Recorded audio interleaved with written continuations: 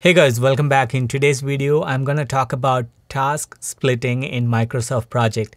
It's such a simple activity and very easy to do, but most often we don't see it in the Microsoft Project or standard project plans. But for whatever reason, if you have to do task splitting, first let's take a look at what is task splitting.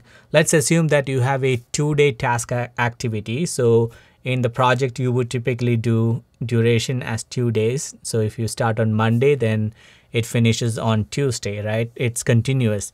But let's say for whatever reason you have to start it on monday but you should not work on it between tuesday wednesday and thursday and only finish it on friday. So it's still two day activity. You are doing on monday and the remaining on friday so how do you do it in ms projects so let me walk you through in the tool and it's pretty simple. I came across this because I was talking to someone from my one-on-one -on -one coaching and she asked me this question and I have never done it for my project but after when I realized it, you know, it is pretty simple. So I thought there might be other students or who are in project management looking to do this and have no clue or they have seen this but they don't know how it is done. So I thought it might be useful for you if you have to do a task split and how to do that in Microsoft project. All right. So on the Microsoft project here, I'm just to type in a task name. Let's call it as task A. And the duration, let's say that is two days. And on the right, you can see that this is now going from Monday to Tuesday as a two day activity. But then if you go to the project view tab, make sure that you are in the Gantt chart. So if you're in some other view, come back and select the Gantt chart and then come back to the task. Click on that task and under the scheduling option, so you would see here, this is the scheduling group. So here there is a button called split task.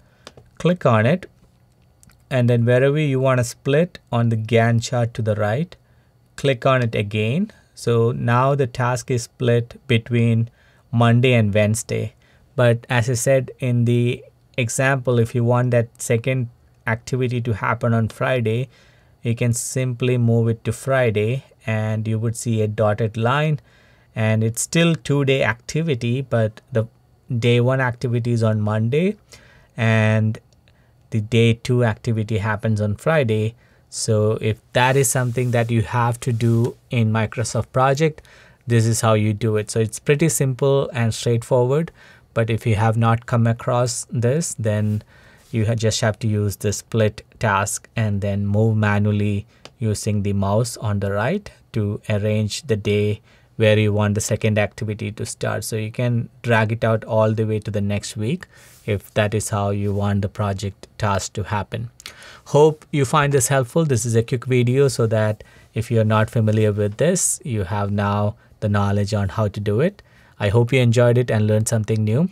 If you like this video, give it a like. And if you have not subscribed to this channel yet, subscribe for more project management related videos. I'll see you in the next one. Take care. Bye.